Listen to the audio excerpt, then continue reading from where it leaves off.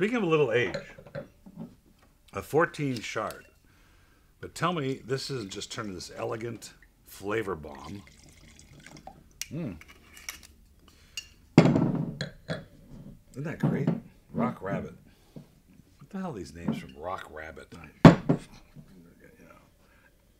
I tasted a bunch of their wines, about six or seven of them, and, I, and two or three of them I thought were really good values. And this one, I was fascinated because of the age and the complexity of the nose. Wow, it's really round. It's got like both red and green apple in Mm-hmm. the in the front. You know, a lot of nice flavor. Very little wood, if You any. would not know it's 14. Hmm? You would not know it's a 14. Well, I mean, it's not that long ago. I mean, It's come on. California.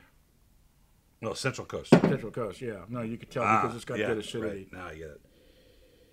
But I That's just think del- that's delicious. I mean, that's a you know at at, at uh, eighteen ninety nine it's delicious. At twelve ninety nine it's incredible. I'm at a ninety seven on that too. I, I, I'm a 98. I think this is fun.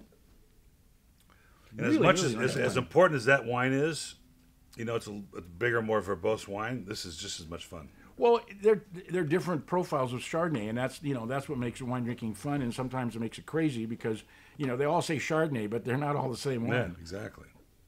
And on that These note, are both 14s too. which I think was a C sharp. Eh.